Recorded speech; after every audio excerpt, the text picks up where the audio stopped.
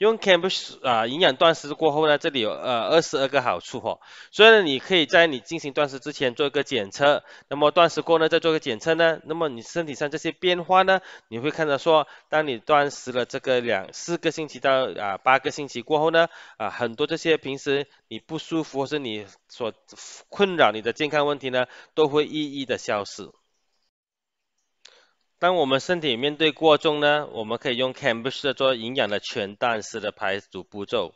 那么首先呢，我们会建议用这个 CEC 呢做个经常排宿便。那么你可以选择首三天呢喝一到两包的 CEC。或者说你选上首三天的午餐过呢，你喝二十到三十 CC 的这个 Life 呢，给你身体进行清泻，那么把我们大肠里面的宿便排干净。那么如果不把宿便排干净的话呢，第一它会影响减重的效果，那么它会累积很多的毒素，那么对身体不健康，也导致我们的这个大肠的细胞有容易有病变的现象。所以把我们的经常呢，把大肠的啊宿便排干净呢，其实是非常重要的。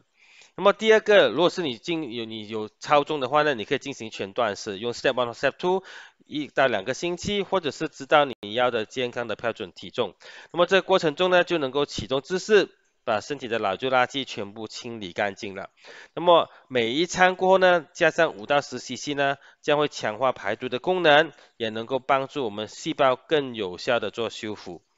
好，那么有些人呢，可能身体或者生活习惯，他不允许全断食，他选择半断食的话呢，那么我会选择，虽然这里说有 step three 和 step four，其实呢，我会建议用 step three，那么两餐的 cambridge，一餐的正餐，那么可以配上我们的根治食疗或者我们的这个 MyPlate，那么你要这方面的资料呢，你可以去我们上一个堂课的那个录营，那么你可以那边找到很详细的资料，那么呢，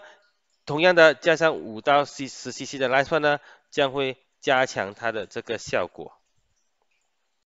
当我们在做营养啊，全部是营养断食过后呢，当你达到了你想要的体健康体重过后呢，那么我们就要进行复食嘛。那么就因为我们不可能长期是啊断食 c a m b r i d g e 所以呢，你一定会做完全断食过后，你需要做复食。那么复食的时候呢，我们就建议说，每一个阶段的每一个 step 呢是做两个星期。比如说现在你是用 step one，OK，啊，四包的 c a m b r i d g e 八百卡路里来做减重的话呢，排毒的话呢，那么你达到你要的目标过后，那么你的复食计划是做 step two 一个星期。到两个星期，那么 step three 一到两个星期，step four 一到两个星期过后呢，那么啊给你的身体有时间重新做调整，那么你才开始吃回你正常的食物。那么如果是你做 step two 断食的话呢，那么你的 step 就是 step three 一两个星期，一到两个星期，step four 一到两个星期。那么需从吃半固体食物开始，到慢慢到固体食物，也就是说。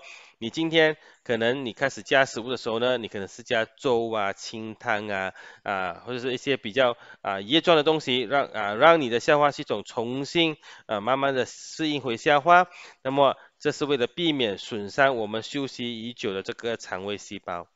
好，那么当你复食完普根做完过后呢，那么我们会建议你做长期的这个维持这个排毒法哈。那么因为你做了一段时间断食，把毒素排干净了过后嘛，当然是希望继续保持你身体的毒素不要这么多啊。你要维持的话呢，你可以每个星期用一到两包的 CEC，或者是用一到两次的这个 l i s e 来进场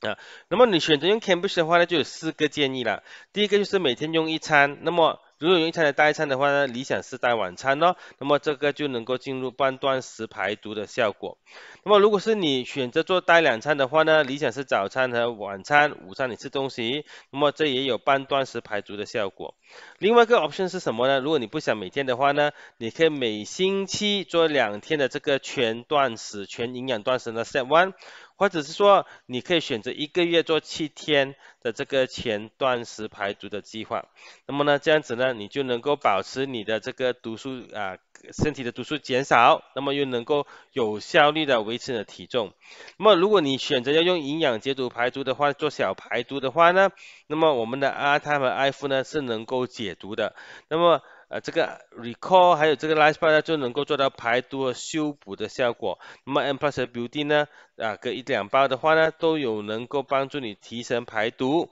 那么保持你身体的健康。